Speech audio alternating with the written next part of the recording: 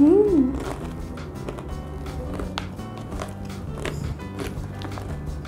Eh, Sobrian Aci. Pasti kalian pada tanya-tanya nih, Kak Yulan lagi makan apa? Kak Yulan lagi makan makaroni zaman bien.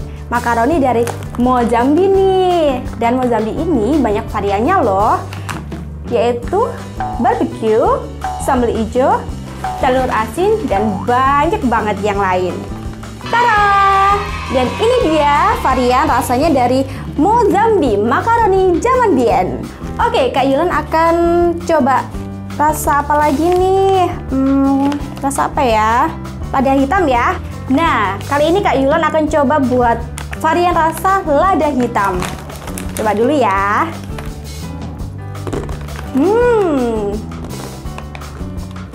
makaroninya renyah banget nih, cocok buat cemilan di rumah dari Mozambi.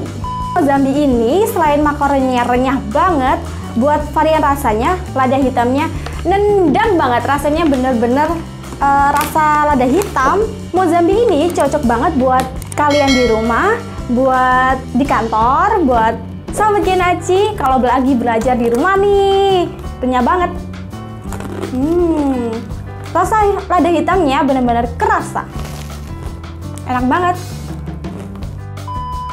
Assalamualaikum warahmatullahi wabarakatuh Hai hai hai Sahabat Kinaci semuanya Jumpa lagi dengan Kak Yulan Sebelum kita lanjut Seperti biasa klik dulu tombol subscribe Dan tekan bel notifikasi Biar kalian semua bisa terus update Video-video terbaru terkeren dari Aci Sahabat Kinaci gimana? Sudah bisa menghitung cepat dengan menggunakan jari tangan kan?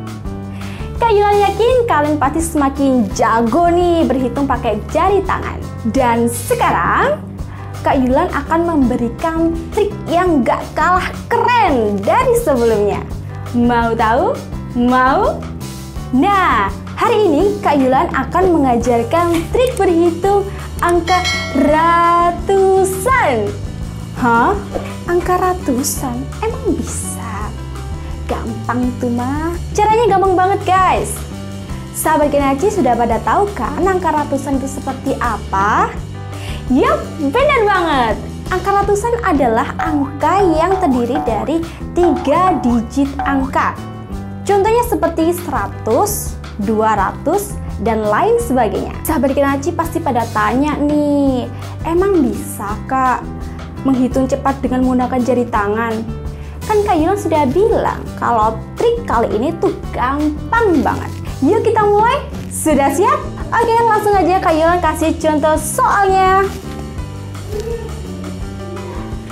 Yap, di sini ada contoh soal penjumlahan angka ratusan yaitu 121 ditambah 213.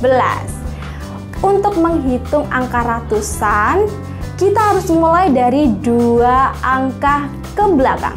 Diingat ya, dimulai dari dua angka ke belakang. Jadi kalau seperti contoh soal di sampingnya Kak Yulan, 121 kita mulai dari 21. Pintar. Langsung aja buka 20, buka 1. Selanjutnya untuk angka 213 sama juga kita mulai dari dua angka ke belakang. Jadi 13 kita ambil angka 13 Buka 10 buka 3 Dan hasilnya adalah Benar banget hasilnya 34 Langsung aja kita tulis angka 34 dari belakang Oke? Selanjutnya yaitu ada sisa angka yang belum dihitung nih Yaitu angka 1 dan angka 2. Nah, di sini ada angka yang belum dihitung nih, yaitu angka 1 dan angka 2. Yap, karena angka ini sendirian, jadi kita harus gunakan tangan kanan atau tangan satuan. Langsung aja kita hitung, tambah 1, tambah 2, dan oke jawab. Pintar, hasilnya adalah 3. Langsung kita tulis jawabannya di depan yang tadi di 34 ya. Hasilnya adalah 334. Wow, gampang banget kan? Contoh soal selanjutnya. Yaitu di sini 211 ditambah 132.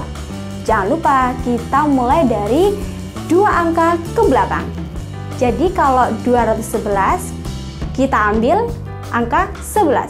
Buka 10, buka 1. Kemudian untuk 132 sama juga kita ambil dua angka ke belakang yaitu angka 32 buka 30 buka 2 dan hasilnya adalah berapa? 43 kita tulis 43 di belakang selanjutnya sisa angka yang belum hitung yaitu angka 2 dan 1 Yap, langsung aja. Kita pakai tangan kanan. Tambah 2 tambah 1 Oke, jawab 3 dan hasilnya adalah 343 Nah, kalau tadi contoh soalnya penjumlahan Kali ini Kak Yulan akan kasih contoh pengurangan Yaitu 432 dikurangi 221 sama juga nih kita mulai dari dua angka ke belakang. Bener banget.